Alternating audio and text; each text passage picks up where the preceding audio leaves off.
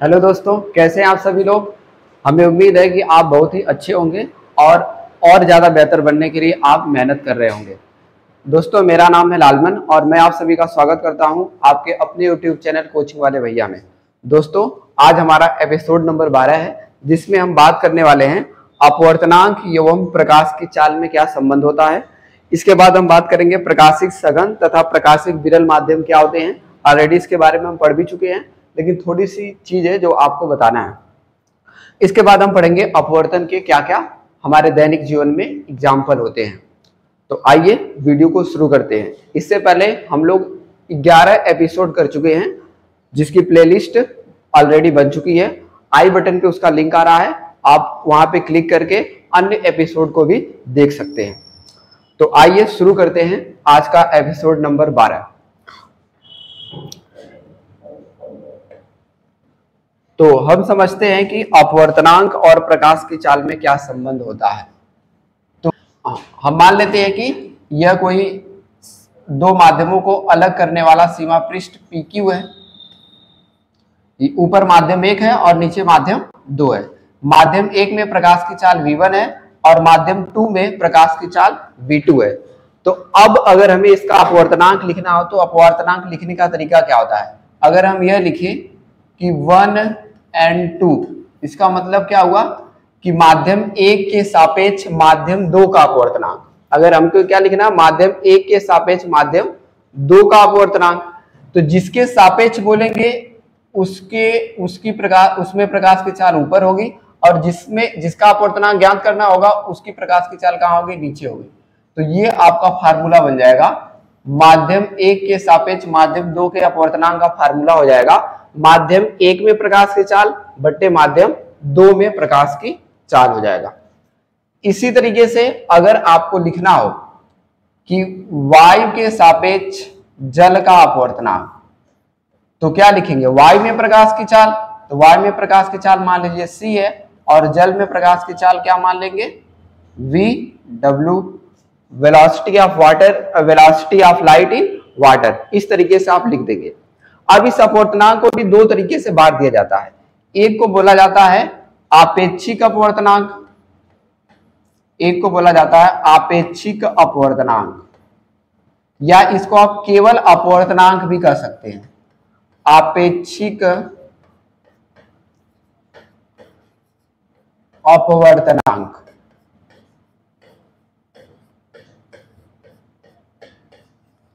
तो जब हम किसी माध्यम का अपवर्तनांक वायु को छोड़ करके अन्य किसी माध्यम के सापेक्ष बताते हैं तो उसको हम आपेक्षिक अपवर्तनांक या फिर केवल अपवर्तनांक कहते हैं।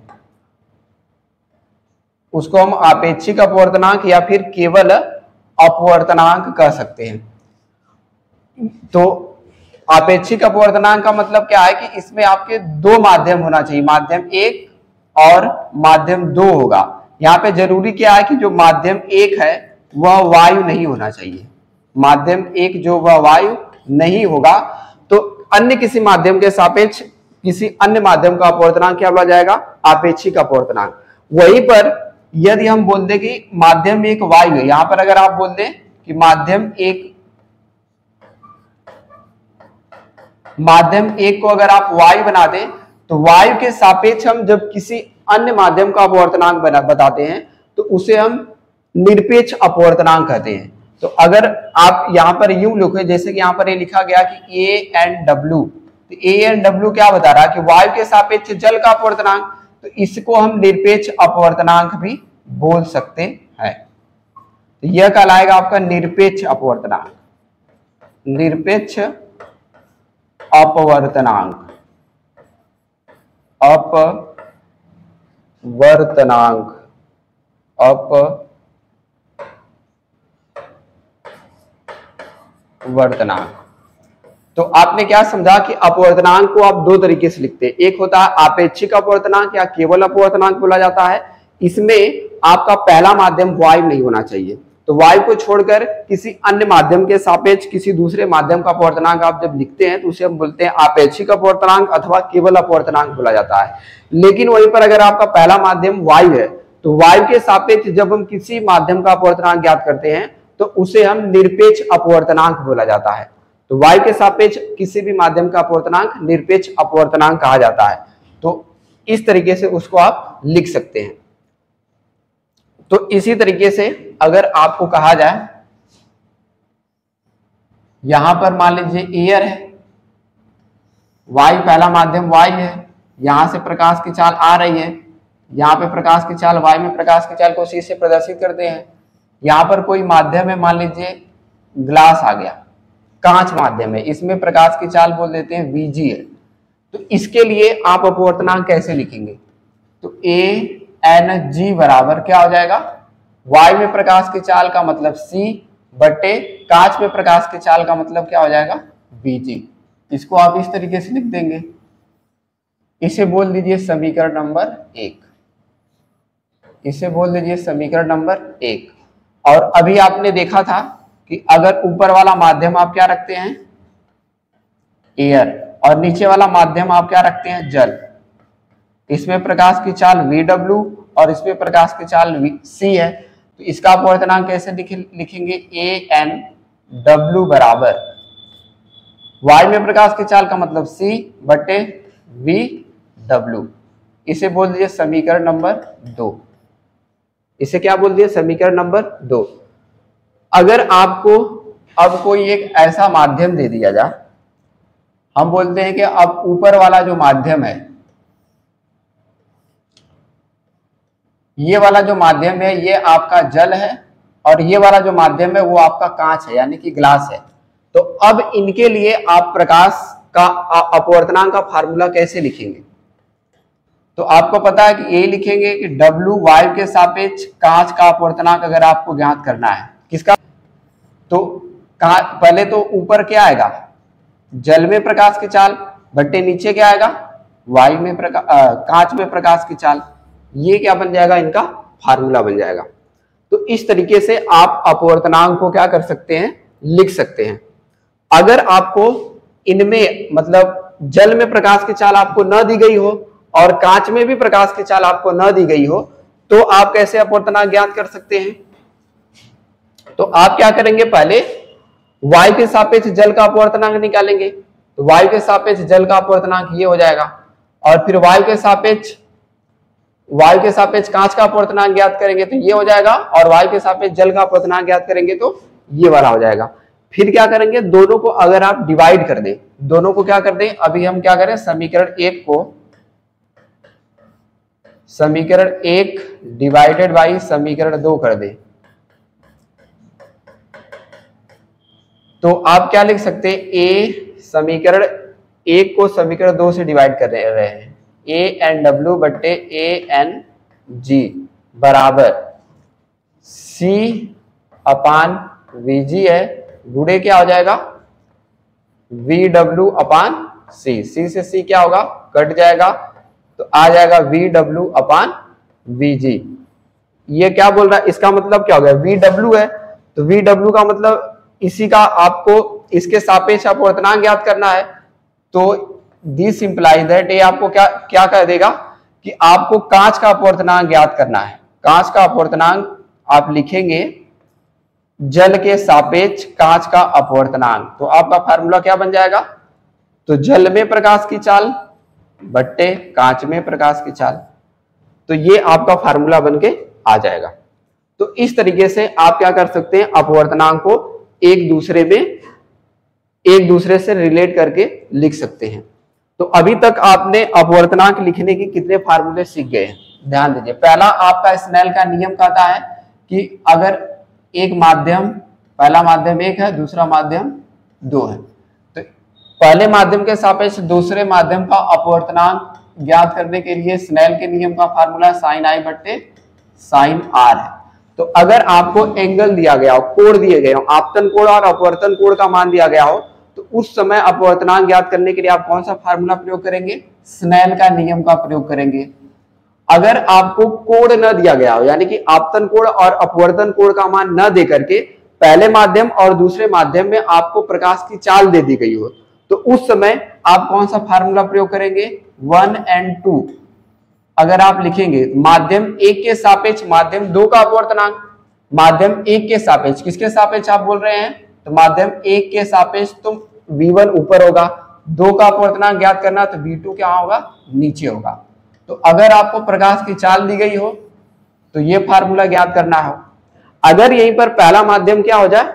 वाई हो जाए। यहीं पर अगर पहला माध्यम वाई हो जाए तो आप इसे कैसे लिखेंगे? वह एन टू या इसको आप क्यों लिख सकते हैं? एन टू इसी को बोलेंगे निरपेक्ष अपवर्तनांक इसी को क्या बोलेंगे? निरपेक्ष अपवर्तनांक और इसका फार्मूला क्या बन जाएगा? क्योंकि वायु के सापेक्ष ज्ञात कर रहे हैं तो वायु के सापेक्ष का मतलब क्या होगा कि वायु में प्रकाश की चाल हमेशा निश्चित होती है सी होती है। और बट्टे, दूसरे माध्यम में प्रकाश की चाल का मतलब क्या हो गया? V2 हो गया। तो इन फार्मूलों का प्रयोग करके आप अपवर्तनांक ज्ञात कर सकते हैं। ओके? तो ये आपके फार्मूले हैं अपवर्तनांक ज्ञात करने के। यह आपका स्नेल के नियम पे आधारित है। यह आपका आपेक्षिक अपवर्तनांक या केवल अपवर्तनांक इसे बोलेंगे? और इसको आप क्या बोलेंगे? निरपेक्ष अपवर्तनांक आप इसको बोलेंगे। ठीक है? तो अपवर्तनांक से हमें पता क्या चलता है? तो आप ध्यान रखिए, अपवर्तनांक से आपको क्या जानकारी मिलती है? तो आपको पता चलता है कि कौन सा माध्यम सघन है, कौन सा माध्यम विरल है। तो विरल माध्यम के लिए अगर कोई माध्यम विरल है तो विरल माध्यम के लिए हम अपवर्तनांक को केवल एन से प्रदर्शित कर रहे हैं। अगर कोई माध्यम विरल है तो उसका अपवर्तनांक कम होगा और सघन माध्यम किसको आप बोलेंगे, जिसका अपवर्तनांक क्या होगा, ज़्यादा होगा। तो अपवर्तनांक से आपको सघन और विरल माध्यम को आसानी से आप डिफाइन कर सकते हैं। जिस माध्यम का अपवर्तनांक ज़्यादा होगा, उसे सघन बोला जाएगा और जिस माध्यम का अपवर्तनांक कम होगा, उसे विरल माध्यम बोला जाएगा। जैसे कि अगर हम हम आपको लिख दिए कि एक माध्यम जल है, जिसका अपवर्तनांक एक दशमलव तीन तीन है एक माध्यम केरोसिन है, जिसका अपवर्तनांक एक दशमलव चार चार है। और वायु का अपवर्तनांक आपको पता एक माना जाता है। तो ये आपका जल है, ये आपका केरोसिन है केरोसिन है। तो अगर आपसे पूछा जाए कि इसमें से सघन माध्यम कौन होगा तो आप चेक करेंगे कि किसका अपवर्तनांक ज़्यादा है। तो इसका अपवर्तनांक ज़्यादा है तो इसलिए यह सघन होगा जल के सापेक्ष। तो केरोसिन जो होता है वो जल के सापेक्ष सघन माध्यम होता है। तो अपवर्तनांक देखकर, अपवर्तनांक की वैल्यू देखकर आप पता कर सकते हैं कि कौन सा माध्यम सघन है अथवा कौन सा माध्यम विरल है। आई होप यहाँ तक चीज़ें आपको क्लियर हुआ होगा। अब आइए आगे देखते हैं। अब हम देखते हैं कि प्रकाशिक सघन अथवा प्रकाशिक विरल माध्यम की का कहने का क्या मतलब है। प्रकाशिक सघन तथा विरल माध्यम। विरल माध्यम। तो जो सरल और जो विरल और सघन माध्यम होते हैं, उनको एक्चुअल में प्रकाशिक सघन तथा प्रकाशिक विरल माध्यम बोला जाता है। तो एक होता है, एक होता है द्रव्यमान घनत्व और एक होता है प्रकाशिक घनत्व। तो प्रकाशिक घनत्व, द्रव्यमान घनत्व से बिल्कुल अलग होता है, ये दोनों चीज़ें एक ही नहीं होती है। तो हो सकता है कि दो वस्तु में अलग अलग हो, उनके प्रकाशिक घनत्व कम ज़्यादा हो सकते हैं और उनके द्रव्यमान घनत्व भी कम ज़्यादा हो सकते हैं। जैसे कि अभी हमने आपको एग्ज़ाम्पल दिया था जल और केरोसिन का। तो जल का जल का जो प्रकाशिक घनत्व या जिसे आप अपवर्तनांक बोलते हैं, वो एक दशमलव तीन तीन है। वहीं पर केरोसिन केरोसिन है। तो केरोसिन का जो प्रकाशिक घनत्व आप बोल लें, या तो वो होता है एक दशमलव चार चार। तो यहाँ पर इसका प्रकाशिक घनत्व तो ज़्यादा है जल से, बट अगर इनके द्रव्यमान घनत्व की बात करेंगे तो केरोसिन का जो घनत्व होता है, वो जल के घनत्व से कम होता है। ये आपको पहले से पता है। तो प्रकाशिक सघन तथा प्रकाशिक विरल माध्यम कहने का मतलब सिर्फ़ इतना है कि आप ये ना समझे कि प्रकाशिक घनत्व और द्रव्यमान घनत्व दोनों चीज़ें समान होती है। तो ये बिल्कुल समान नहीं है। प्रकाशिक घनत्व अलग चीज़ है, जो उसके अपवर्तनांक से संबंधित है, जबकि द्रव्यमान घनत्व अलग चीज़ है, जो उसके आयतन और द्रव्यमान से संबंधित होता है। आप एग्ज़ाम्पल से यहाँ पर समझ गए कि यहाँ पर जल और केरोसिन में जल का तो प्रकाशिक घनत्व ज़्यादा है बट इसका द्रव्यमान घनत्व जल के सापेक्ष क्या होता है? कम होता है। तो ये चीज़ आपको ध्यान रखनी है। आई होप ये चीज़ आपको समझ में आया होगा।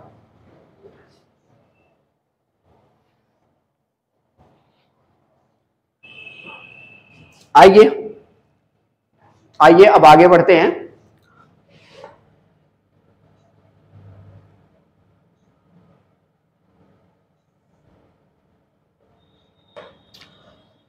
अब हम देखते हैं कि सघन माध्यम में स्थित वस्तु का विरल माध्यम से अगर आप देखते हैं तो क्या होता है? तो इस चित्र के माध्यम से आप समझिए। मान लीजिए कि ऊपर से आप किसी वस्तु को देख रहे हैं, एक वस्तु ओ है, जो जल के अंदर बिंदु बिंदु ओ के ऊपर रखी गई है। यहाँ पर जो बिंदु ओ दिख रहा है, यहाँ पर आपको कोई वस्तु रखी गई है। यहाँ पर क्या है? वस्तु है। अब ऊपर से आप इसको देखना चाह रहे हैं। तो देखने के, देखना चाह रहे हैं तो आपको यह वस्तु कब दिखाई देगी? जब यहाँ से प्रकाश की किरण आपकी आँखों तक पहुंचेगी। जब प्रकाश की किरण आपकी आँखों तक पहुंचेगी, तभी तो आप इस वस्तु को देख पाएँगे। तो इसका रे डायग्राम कैसे बनेगा उसको आप समझिए। तो देखिए, एक किरण जो है, वह बिल्कुल अविलंब से होकर जाएगी। यह दोनों माध्यमों को अलग करने वाला तल पी क्यू है। अब ये किरण जो है, बिल्कुल सीधे आएगी। तो सीधे आएगी तो यह बिना अपवर्तित हुए सीधे क्या करेगी? निकल जाएगी। ये सीधे आपकी आँखों तक जाएगी। और एक दूसरी किरण जो होगी, वो कुछ ना कुछ तिरछी जाएगी आपकी आँखों तक। सभी किरणें तो सीधी जाएँगी नहीं, अब कोई दूसरी किरण जाएगी तो ये कुछ तिरछी जाएगी। जब ये कुछ किरण कुछ बेंट होके आएगी और इस सीमा पृष्ठ के ऊपर पड़ेगी पीक्यू के ऊपर पड़ेगी तो यहाँ पर इसका क्या होगा? अपवर्तन होगा। तो नीचे जो है जल है और ऊपर वायु है। तो जल जो है सघन माध्यम है वायु क्या है? विरल माध्यम है। तो जब यहाँ पर देखिए, प्रकाश की किरण सघन माध्यम से कहाँ पे जा रही है? विरल माध्यम। तो ये क्या करेगी? ये जो अभिलंब आपको दिख रहा है N C N dash N C N dash इससे क्या करेगी? दूर हट जाएगी। इससे क्या कही? दूर हट गई। तो जब इस प्रकाश की किरण को हम पीछे की तरफ़ बढ़ाएँगे तो यह पहले वाली किरण, यानी कि ए बी जो किरण आपको दिख रही है, पहले वाली किरण को बिंदु आई पर काट रही है।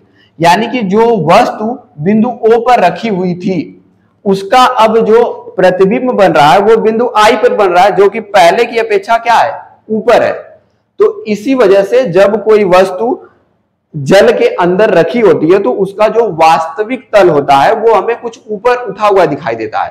तो यह वास्तविक तल है, यह वास्तविक गहराई है। तो मान लीजिए कि अगर यह वास्तविक गहराई जो इसकी है, रियल में जो गहराई है एच है। और आप जब देख रहे हैं तो आपको यह पता चल रहा है क्या है? एच डैश हो गई। यह गहराई क्या हो गई? एच डैश हो गई। तो आप अगर आप इसे कैसे लिखेंगे? तो इसको भी अपवर्तनांक के केस में लिख सकते हैं। वास्तविक गहराई वास्तविक गहराई। यानी कि वास्तविक गहराई h बटे आभासी गहराई। तो जो आभासी गहराई आपको पता चल रहा है, अगर आपको अपवर्तनांक पता है तो आप एक्चुअल वाली गहराई क्या कर सकते हैं? पता कर सकते हैं। तो इसी वजह से कभी कभी किसी तालाब के किनारे आप जब खड़े होते हैं तो आपको लगता है कि यह तालाब कम गहरा आपको लगता है कि इसका तल तो ऊपर उठा हुआ है, बहुत कम गहरा लेकिन जैसे ही आप तालाब में जाते हैं तो आप डूबने लगते हैं। कभी अगर आपके ऐसा हुआ हो तो आप कमेंट में ज़रूर बताइए। ये क्यों होता है? ये प्रकाश के अपवर्तन के कारण होता है। आप यहाँ पे देख पा रहे हैं कि जो इसका एक्चुअल वाला तल था, वो आपको ऊपर उठा हुआ दिखाई दे रहा है। तो यानी कि जो आपको दिखता है, वो एक्चुअल में होता नहीं है। तो ये कहावत भी यहाँ पर बिल्कुल अच्छे तरीके से लागू होती है। जो आपको दिखता है, वो एक्चुअल में होता नहीं है। आपको तो दिख रहा है, इसका तल तो ऊपर है बट एक्चुअल में क्या इसका तल ऊपर है? अगर आप इस भ्रम में पड़ गए, आपको अगर ये जानकारी नहीं है तो आप क्या कर सकते हैं? किसी ज़्यादा गहराई पे जा, जा सकते हैं वहाँ पर आप डूब भी सकते हैं। लेकिन अगर आपको तैरना आता है तो कोई बात नहीं है। तो इस वजह से ऐसा होता है। तो इसी के आधार पे कुछ इसके एग्ज़ाम्पल भी हैं जो आप दैनिक जीवन में देखते हैं। जैसे देखिए अपवर्तन के कुछ उदाहरण क्या है? तालाब की गहराई वास्तविक गहराई से कम दिखाई देना। तो इसी वजह से यानी कि अपवर्तन के कारण ही जो वास्तविक गहराई होती है वो हमको कम दिखाई देती है। आभास हमको क्या होता है? कम आवास होता है कि इसकी गहराई कम है। तो इसका कारण आप समझ गए डायग्राम के माध्यम से। इसी तरीके से आप बर्तन में अदृश्य सिक्का जल से भर देने पर दिखाई देने लगता तो सेम घटना इसके साथ भी होगी।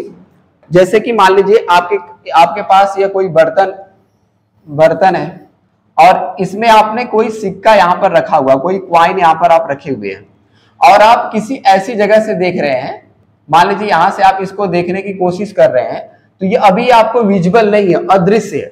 मतलब आप किनारे से देख रहे हैं तो ये आपको अदृश्य अभी दिखाई नहीं दे रहा सिक्का। आप किनारे से देख रहे हैं, सिक्का आपको दिखाई नहीं दे रहा है। लेकिन जैसे ही अब इसके अंदर आप क्या करेंगे? पानी भर देंगे। जैसे ही इसके अंदर आप पानी भर देंगे तो अब क्या होगा? अब होगा अपवर्तन की घटना होगी। अब इससे जो प्रकाश की किरणें चलेंगी तो एक किरण तो आपकी पहले की तरह सीधी चली जाएगी। इसका बिल्कुल अपवर्तन नहीं होगा। अब दूसरी किरण जब यहाँ से जाएगी तो इसका क्या हो जाएगा? अपवर्तन हो जाएगा। तो ये कुछ इस तरीके से बेंड होकर आपकी आँखों तक जाएगी। अब एक्चुअल में इसकी गहराई, इसको जब पीछे बढ़ाएँगे डॉट लाइन से तो एक्चुअल में इसका इमेज यहाँ पर आभासी इमेज बनेगा। अब जो वास्तव में इसका जो तल नीचे था, वो आपको आभास हो रहा है। ऊपर बिंदु आई पर दिखाई दे रहा है। तो इसी वजह से अब ये सिक्का क्या करेगा? आपको दिखाई देने लगेगा। तो पहले ये सिक्का आपको अदृश्य था, लेकिन जल भरने के बाद आप दिखाई देने लगा। तो कुछ जादू की तरीके से हो रहा है ना तो ये है अपवर्तन की घटना। इसी तरीके से आप क्या देखते हैं? इसी तरीके से आप देखते हैं कि सीधी छड़ जल में मुड़ी हुई दिखाई पड़ती है। तो अगर कोई किसी छड़ को आप जल में आधा डुबो कर रखते हैं तो वो आपको जल में मुड़ा हुआ दिखाई देता है। यानी कि इसके साथ भी वही घटना होगी। आप कोई एक पात्र लिए रहेंगे इसमें आप कोई इस तरीके से छड़ अगर आप बेंड करके रखे रहेंगे तो क्या होगा? जब इसके अंदर पानी भर देंगे तो अब एक्चुअल में ये वाली जो छड़ आपको कुछ यहाँ इस तरीके से दिखाई देने लगेगा। मतलब ये सीधे इस तरीके से बेंट हो गई। क्यों हो गई? वही प्रकाश के अपवर्तन के कारण। तो किरण जो होगी, जब अपवर्तन के पश्चात क्या होगी? कि अविलंब से दूर हट जाएगी। जब अविलंब से दूर हटेगी तो आपकी आँखों तक पहुंचेगी, जिसकी वजह से इसका जो आभासी प्रतिबिंब कुछ ऊपर उठा हुआ दिखाई देगा। तो आपको आभास होगा कि ये जो छड़ है, वो जल में क्या है? मुड़ी हुई दिखाई दे रही है। तो इस तरीके से अपवर्तन से संबंधित कुछ घटनाएँ जो आप अपने दैनिक जीवन में प्रतिदिन देखते हैं तो आपको समझ में आया होगा कि आखिर ऐसा क्यों होता है। तो अपवर्तन के कारण ये सारी चीज़ें होती हैं। तो यहाँ तक का सफ़र कैसा रहा? कमेंट में ज़रूर बताएँ। वीडियो अगर आपको वैल्यूबल लग रहा है, आपको इंफॉर्मेशन मिल रही है तो आप वीडियो को लाइक करें। अगर चैनल पे आप नए हैं तो चैनल को सब्सक्राइब करें। साथ ही साथ अपने दोस्तों के साथ ज़्यादा से ज़्यादा शेयर करें, ताकि उनको भी इससे संबंधित चीज़ों की जानकारी मिले। धन्यवाद।